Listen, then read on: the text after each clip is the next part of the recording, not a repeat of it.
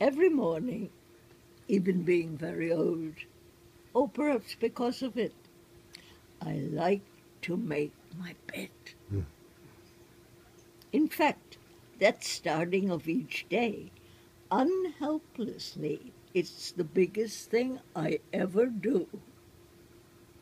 I smooth away the dreams disclosed by tangled sheets. Hmm. I smack the dented pillows, revelation to oblivion. Hmm. I finish with the pattern of the spread exactly centered. And now the day can open. It's this I like to do, mastering the making of my bed, with hands that trust beginnings. All this I need to do, directed by the silent message of the luxury of my breathing.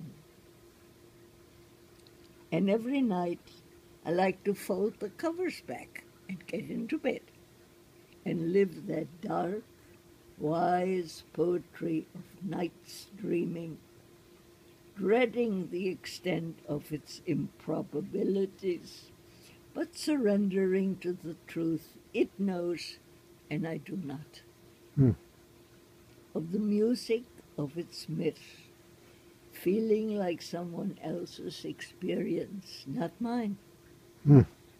I know that I could no more cease to want to make my bed each morning than fold the covers back at night, than I could cease to put one foot before the other. Being very old, and so because of it, all this I am compelled to do, day after day, night after night, directed by the silent message of the constancy of my breathing that bears the news I'm alive. Hmm. I love that one.